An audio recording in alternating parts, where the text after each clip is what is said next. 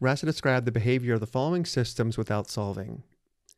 To do this, we'll first write each system as a vector equation in the form of vector x prime equals matrix P times vector x. In this form, if we determine the eigenvalues of matrix P, we can then determine the behavior of the system.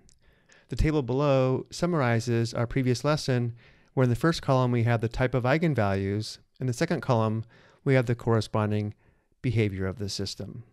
So for part A we have x prime equals x plus y and y prime equals x minus y.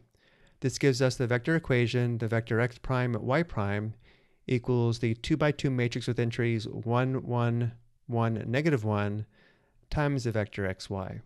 Notice now we know matrix P is the 2 by 2 matrix with entries 1, 1, 1, negative 1. The next step is to determine the eigenvalues of matrix P. Recall to do this, we need to set up the equation, the determinant of the difference of matrix P and lambda i equals 0, and then solve for lambda. So here we have the setup. Simplifying inside the parentheses, we have the determinant of the 2 by 2 matrix with entries 1 minus lambda, 1, 1, negative 1 minus lambda. And now we evaluate the determinant, which gives us 1 minus lambda times negative 1 minus lambda minus 1 times 1 equals 0. Simplifying on the left, we end up with lambda squared minus 2 equals 0. To solve for lambda, we add 2 to both sides and take the square root of both sides, which gives us lambda equals plus or minus square root 2. Notice how we have two real eigenvalues, one positive and one negative. Looking at our table, this is when the eigenvalues are real and opposite signs, and therefore the behavior of the system is a saddle. From our previous lesson, here's an example of a picture showing the behavior of a saddle. This is not the exact behavior of this system, but it does show the behavior of a saddle. And now let's take a look at part B.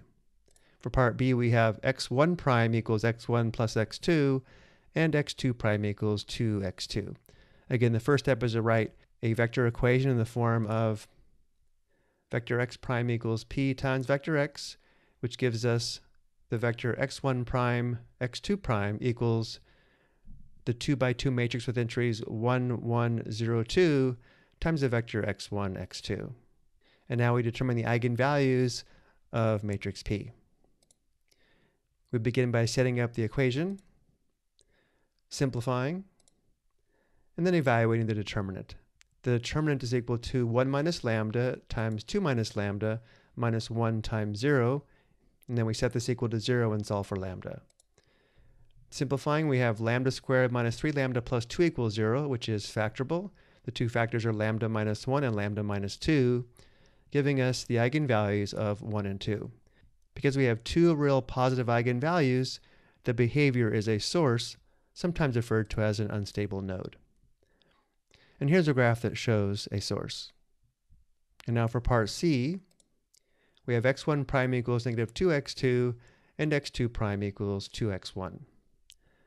Following the same procedure, we have the vector x1 prime, x2 prime equals the 2 by 2 matrix with entries 0, negative 2, 2, and 0 times the vector x1, x2. And now we determine the eigenvalues of matrix P, the determinant is equal to negative lambda times negative lambda minus negative 2 times 2, which simplifies to lambda squared plus 4.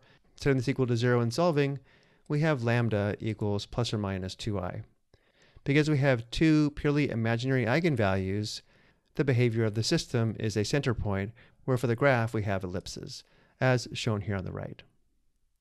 And for our last example, part D, we have x prime equals x plus 3y and y prime equals negative 2x minus 4y.